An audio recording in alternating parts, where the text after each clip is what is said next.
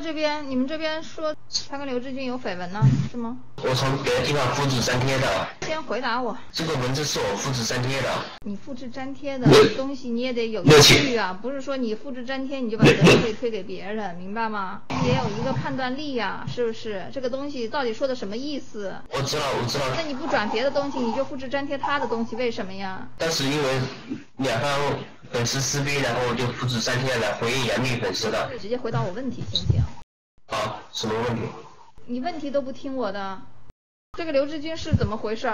是一个是一个人名和杨幂传过绯闻的人名。我知道是刘志军是个人名。原告这一边，这杨幂跟这刘志军是有关系吗？我们没有什么直接关系。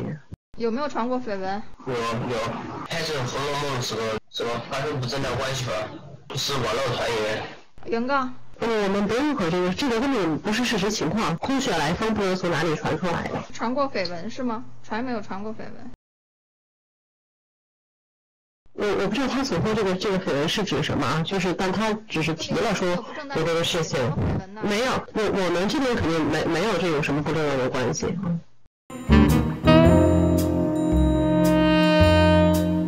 也不认可整容过是吗？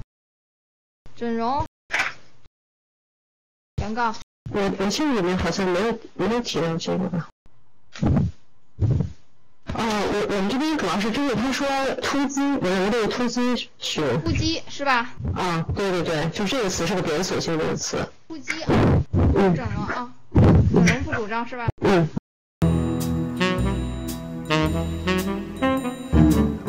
被告什么时候提交的？有呃前天提交了一份吧，还有昨天晚上也提交了一份。为什么你到昨天才交？交代你们的事情你得提前完成。我法官得看，对方也得看。主要主要是我跟法律意识太淡薄了。你发帖子的时候是淡薄，诉讼了还说是淡薄，你每次淡薄你不长进有什么用啊？确实确实意识到错误了。有吗？被告有，呃，是这样子的，插刀主要是指杨幂对于刘诗诗和那个唐嫣演戏的时候去抢一些角色。杨幂一直声称和唐嫣是中国的好闺蜜，意思是抢了唐嫣跟刘诗诗的那个角色是吗？对，并且结婚不请他们。结婚不请他们是吗？对。原告这边说一下关于这个什么水军营销这个，呃，杨幂女士的粉丝啊，或者是微博用户自发的这种行为。证据二是杨幂在节目上面，在综艺节目上面自己亲口承认是有自己扎戏这个情况。行，原告你这边主张说他那个说他扎戏这个东西了是吗？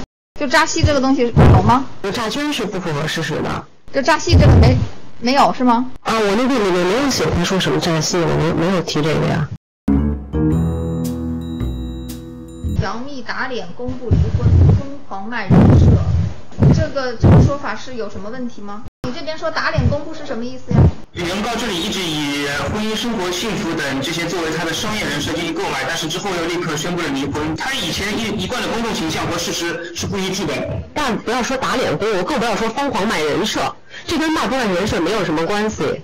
我是觉得，呃，公众人物，你的有些事实或者有些行为出出来了，你不能说我老百姓我就什么都不能说，明白吗？但是呢，这个说是要有限度，是有边界的。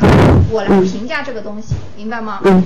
别要一股就是说一一股脑儿，我觉得什么都是，我觉得什么话都不应该，都就都都不能说了。你自己把它捋，你自己把它捋清楚。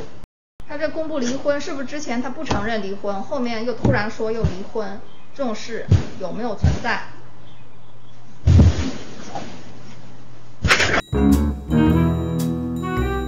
这个涉嫌偷税漏税，这个有没有相关的？有没有接受过相关的调查？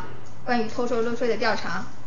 这个我不清楚，我不是特别清楚，我可以去核实一下啊，我可以核实一下，好的。现在核实吧。不是我，我现在暂时我没法，因为得得联系他们相关的工作人员。你主张这个东西的话，那你就肯定认定是虚假。偷税漏税不就是被有关怀疑过，就调查过吗？这个东西不难理解。我不觉得我这是第一个问题，第一个这么问的，可能。你们没有去了解，你你现在说你，你完全不清楚，你要不然跟他们那个公司的人好好问问。这个我我现在提上嗯没法给您核实，我得停下来之后再给他们打电话，呃核实有没有人来。下班之前给我答复。